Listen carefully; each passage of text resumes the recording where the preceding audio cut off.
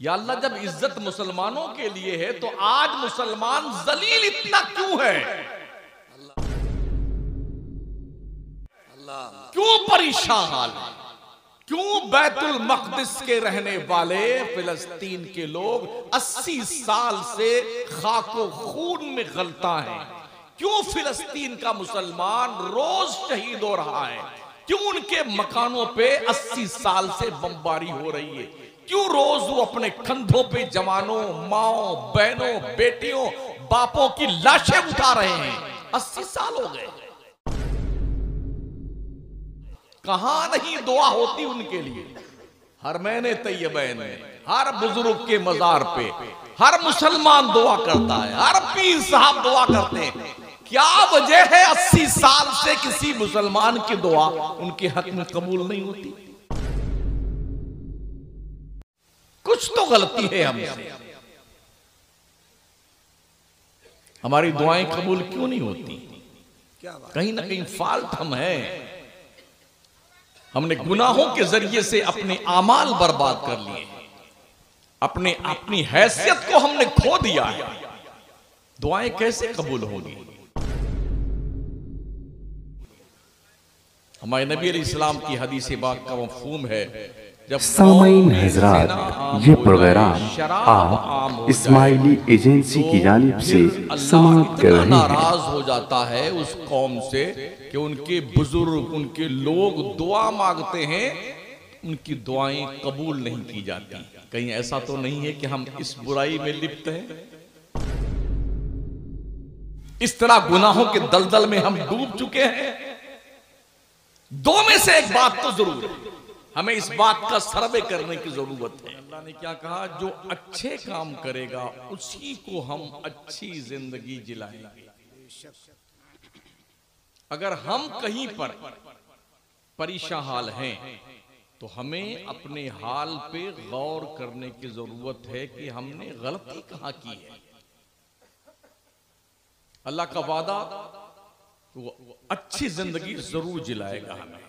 तो हमने गलती कहाँ की है?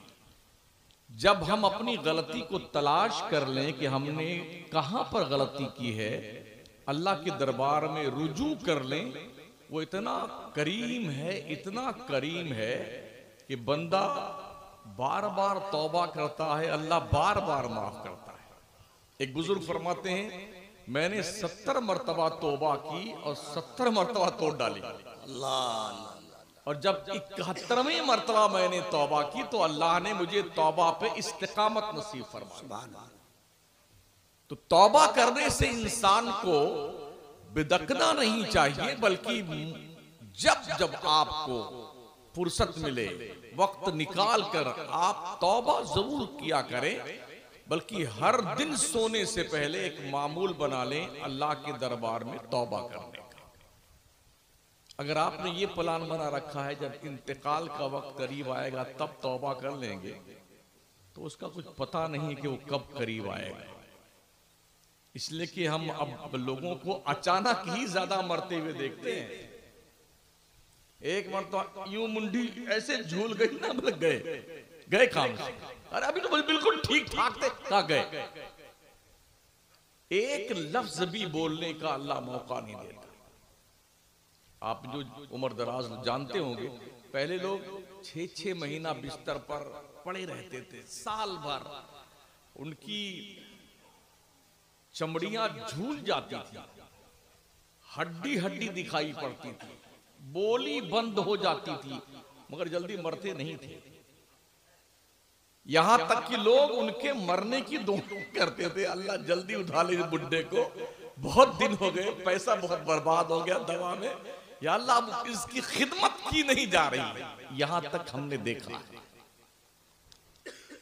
अब कंडीशन ये है, उस वक्त लोग जो साल भर छह महीना बीमार रहते थे तो हरदम बीमारी में आदमी अल्लाह ही को याद करता है। नहीं करता है?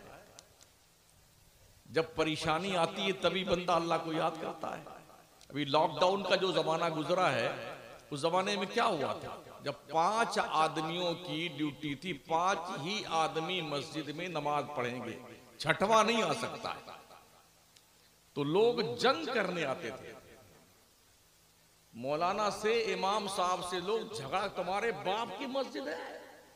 हाँ हम नमाज़ नहीं पढ़ेंगे। और लॉकडाउन खत्म हुआ तो बेचारों का पता नहीं कहाँ गए जैसे गधे के सर पे सींग नहीं होती नहीं ऐसे उनका पता नहीं चला कहाँ गए और जब तक लॉकडाउन था दे लड़ाई दे झगड़ा।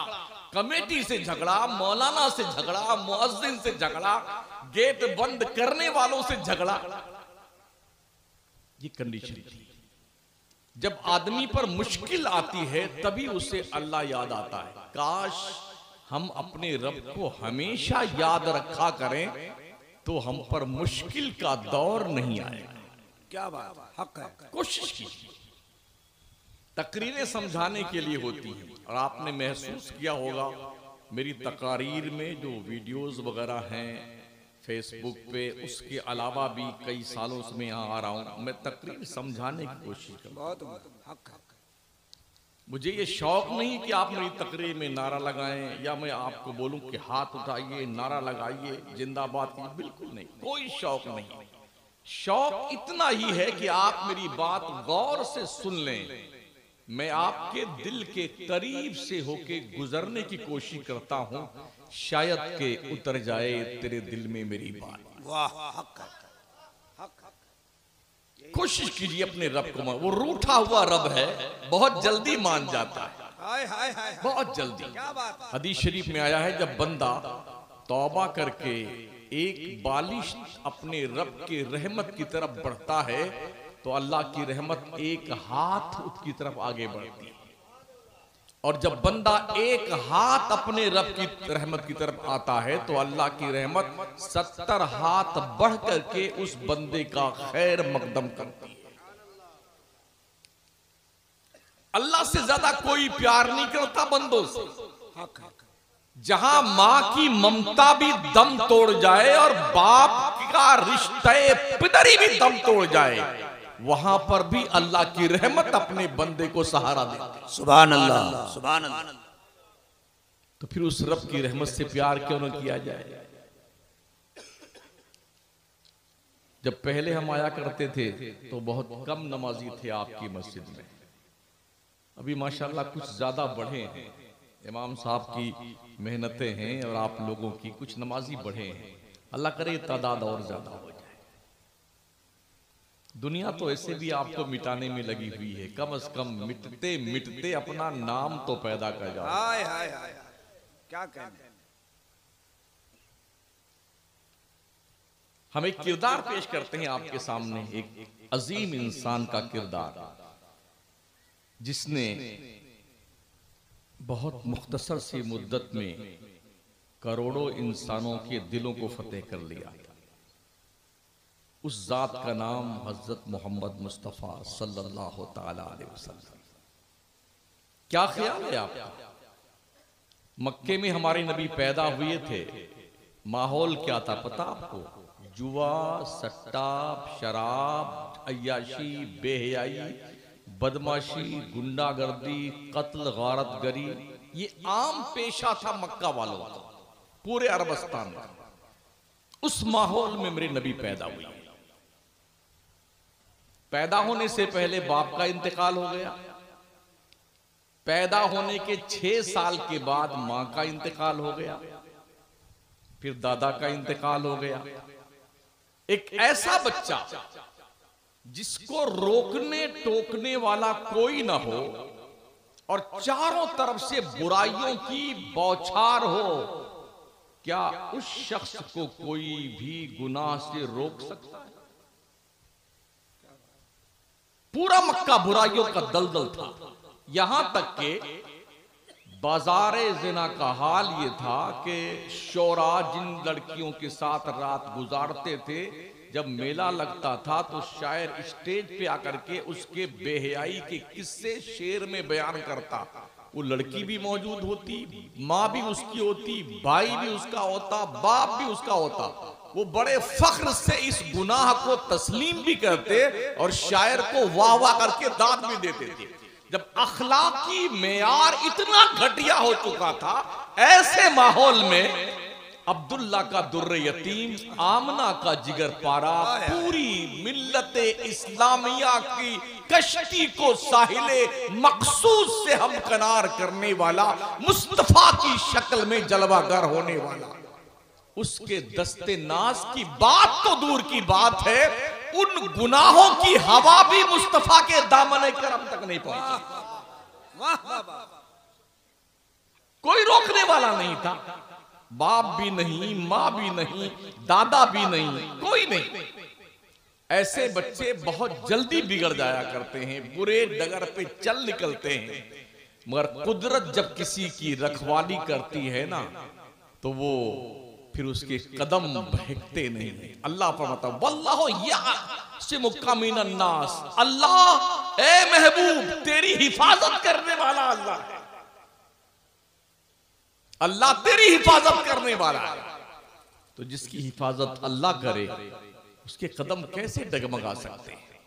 उस माहौल में लोगों को अपने अजीम किरदार के ज़रिए से हमारे नबी ने दिल कैसे जीते हैं वो मैं आपको बताऊँ जर्रा जर्रा दुश्मन है। किसी भी तबलीग किसी भी तहरीक किसी भी तंजीम को फरोग पाने के लिए पैसों की शदीद ज़रूरत होती है अफराद की ज़रूरत होती है।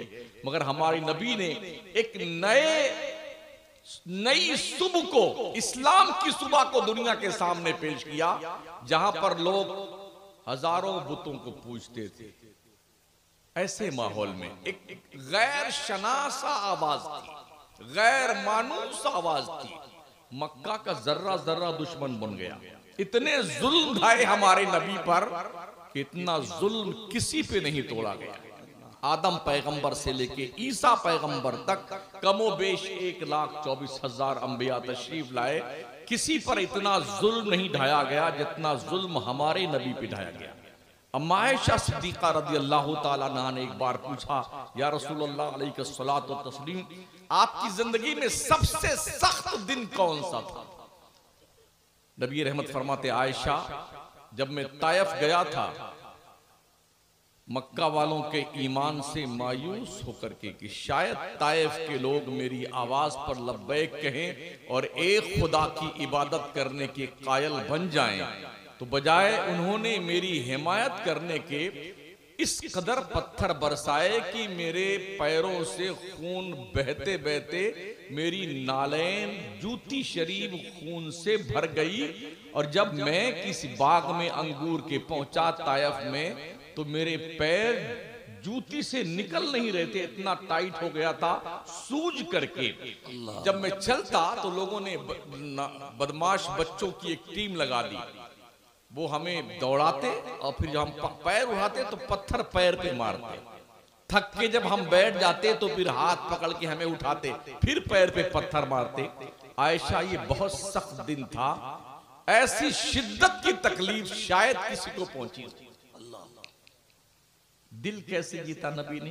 वल काजमीन अल गैज, वल आफीना हुजूर गुस्से को पी जाते थे और लोगों को माफ़ कर देते ये दो पाकिजा किरदार में नबी का ऐसा था गुस्से को पी जाना और लोगों को माफ़ कर देना।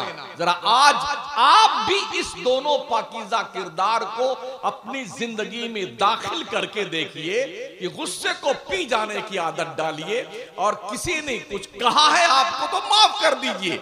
ये दोनों अजीम खसलतें ऐसी हैं जो दुश्मन के दिलों को जीत करके उनके दिलों में आपकी मोहब्बत पैदा कर देती है।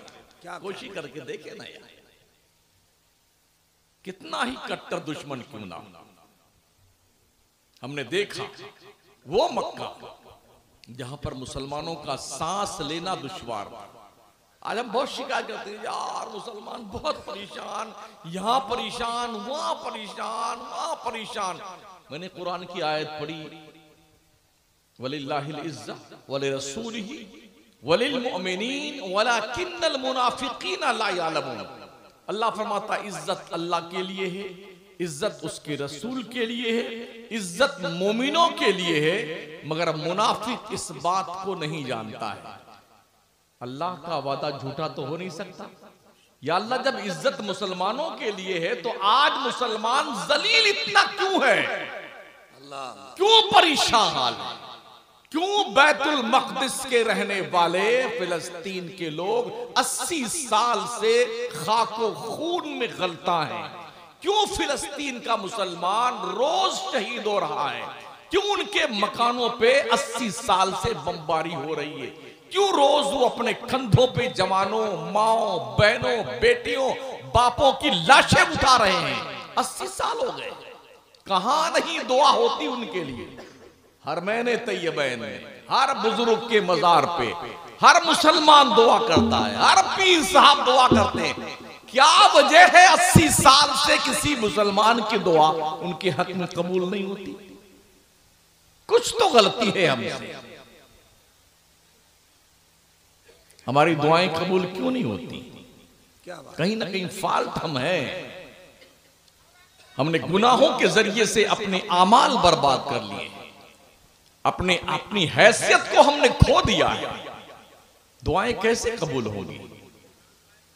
हमारे नबी इस्लाम की हदीस बात का मफहूम है, जब कौम में जेना आम हो जाए, शराब आम हो जाए तो फिर अल्लाह इतना नाराज़ हो जाता है उस कौम से कि उनके बुज़ुर्ग, उनके लोग दुआ मांगते हैं, उनकी दुआएँ कबूल नहीं की जाती। कहीं ऐसा तो नहीं है कि हम इस बुराई में लिप्त हैं? इस तरह गुनाहों के दलदल में हम डूब चुके हैं। दो में से एक बात तो ज़रूर है। हमें इस बात का सर्वे करने की ज़रूरत है। आज की तारीख में मुसलमानों के पास ना पढ़ने का वक्त है, ना दीन के करीब आने का वक्त है। और जलसे भी बस जिस दिन जलसा होता, उस दिन ही हम मुसलमान दिखते हैं। और जुमा के दिन मस्जिद में मुसलमान दिखते हैं या ईद बकरीद में मुसलमान दिखता है। जो बाज़ार में भी मुसलमान दिखे, घर की तन्हाई में मुसलमान दिखे, खेत खलियान में मुसलमान दिखे सफ़र और हजर में मुसलमान दिखे, खलवत और जलवत में मुसलमान दिखे, मुसलमान उसे कहते हैं जिसे देखने के बाद लोग ये कहें कि इसे मुसलमान कहते हैं। तो आज क्या है हमारी कंडीशन हमें देख करके लोग इस्लाम कबूल नहीं करते। नहीं, ये तो जुट्ठा आदमी है। ये बेईमान है मुसलमान। और इस्लाम कैसे फैला था? मुसलमान रास्ते से गुजर जाता था, लोग देख के मुसलमान हो जाते थे। खाजा साहब ने क्या किया था? नब्बे लाख काफिरों को जो कलमा पढ़ाया, सरकार गरीब नवाज़ ने। क्या तलवार चलाई थी उन्होंने? जी नहीं। तलवार लेके आए थे शहाबुद्दीन गौरी। भारत के लोगों ने उन्हें दौड़ा करके भगाया और अपनी जान बचा करके शहाबुद्दीन गौरी भागे थे। और मेरे गरीब नवाज़ फौज लेके नहीं आए थे। चालीस फकीरों की एक जमात थी आपके साथ।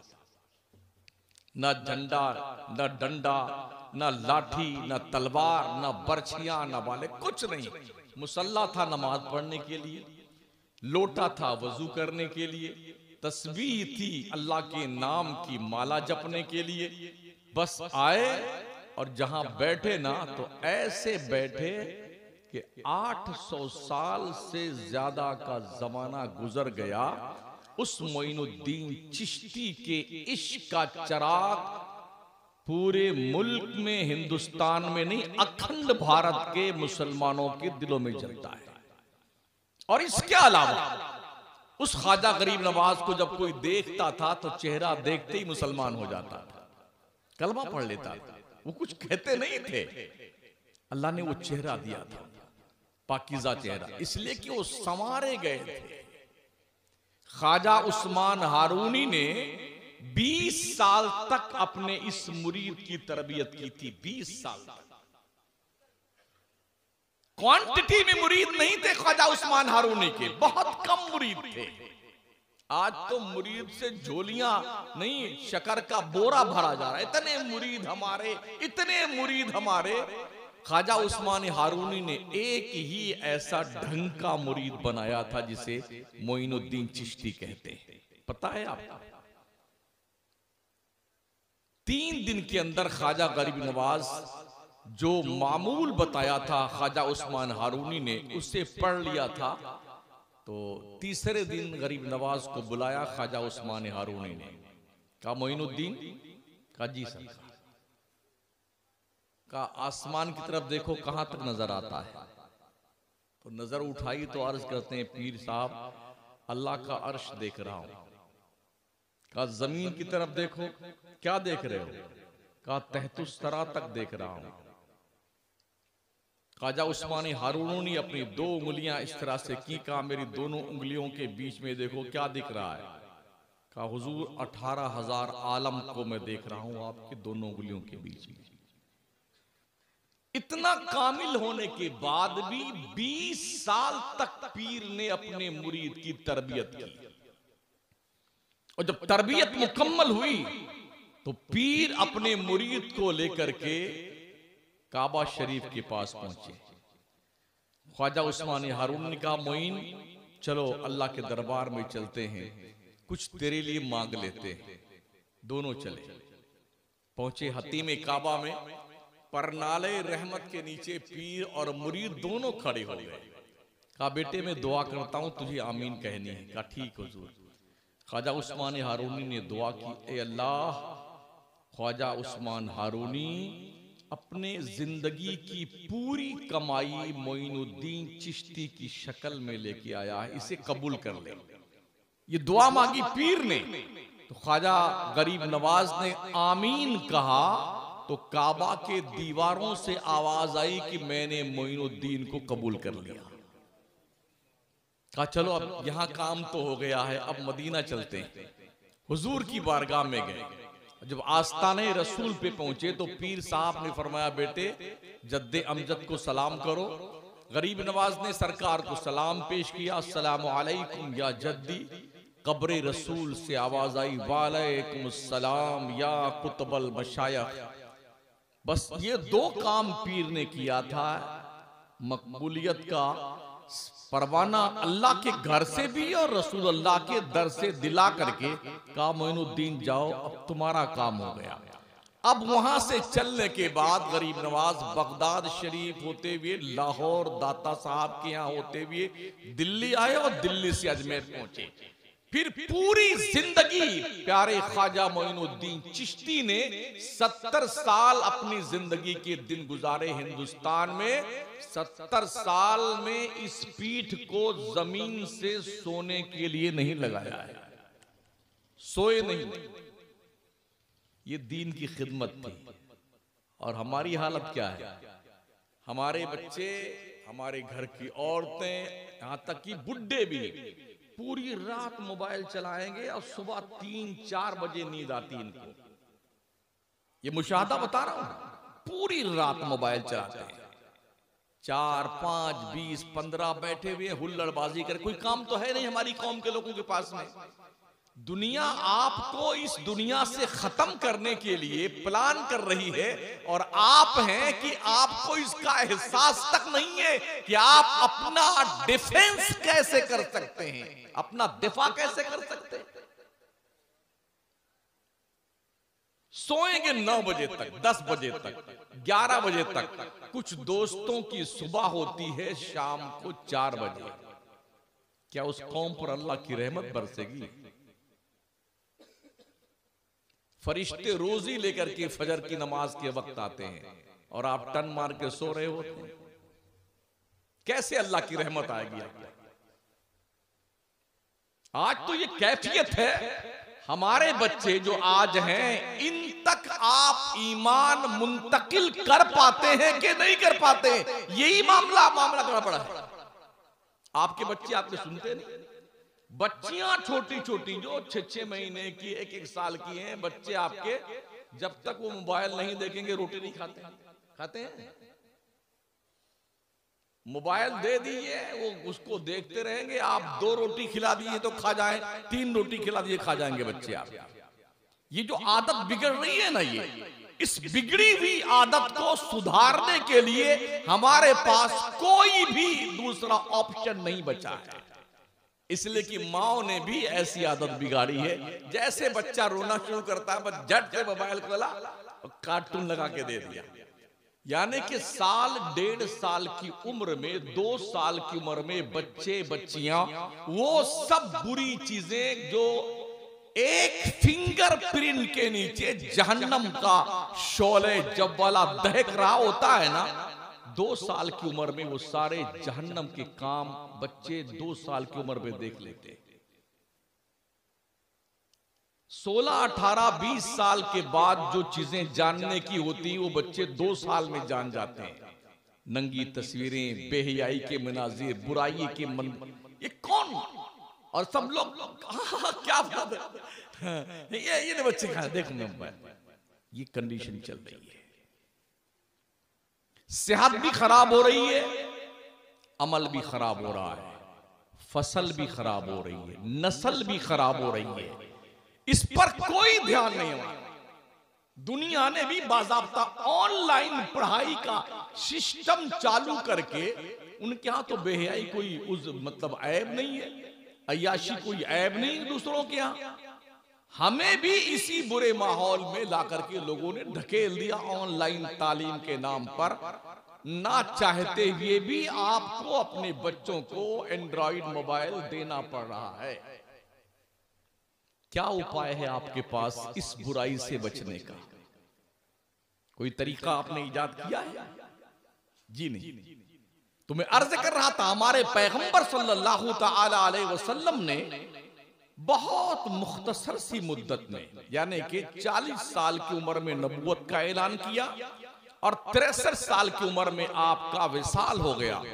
कुल तेईस साल के नबूवत के ऐलान के बाद वाली ज़िंदगी में हमारे पैगंबर ने एक लाख चौबीस हज़ार दिलों में अपनी गुलामी और वफादारी का चलाक जला दिया वो लोग जो खून के प्यासे थे, वो लोग जिन्होंने हुजूर को मक्का से निकाल दिया था कि मदीने हुजूर चले गए थे, अपना घर बार लोग छोड़ के चले गए थे, ज़्यादा दिन नहीं गुजरे थे।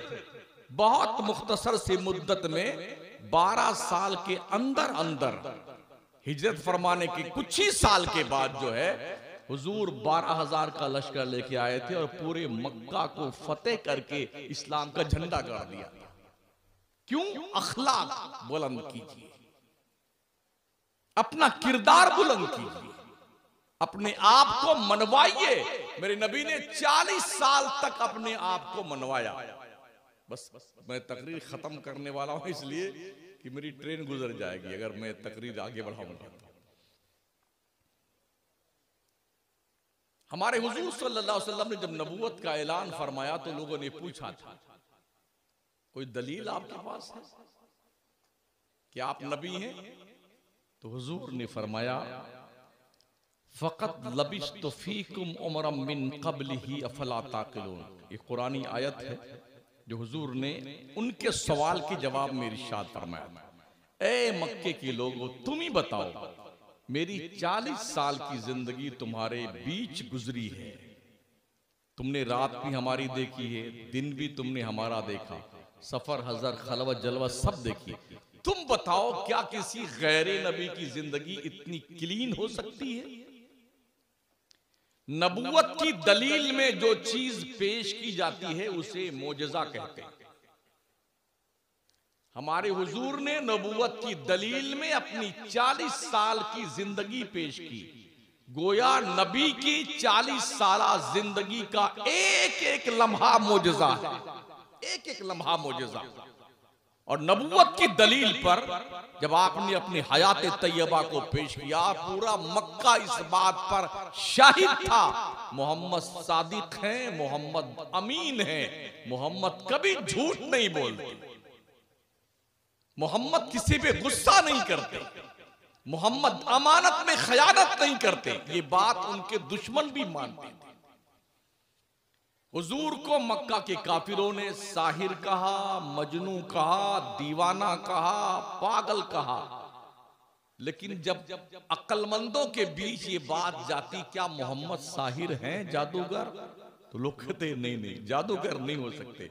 इसलिए कि जादूगर ऐसी बातें नहीं कर पाता है जैसी बात मोहम्मद करते। का मजनू का मजनू भी मोहम्मद नहीं, दीवाना भी नहीं है। पागल भी नहीं है, इसलिए कि पागल ऐसी बात नहीं करता, जैसी बात मोहम्मद करते हैं।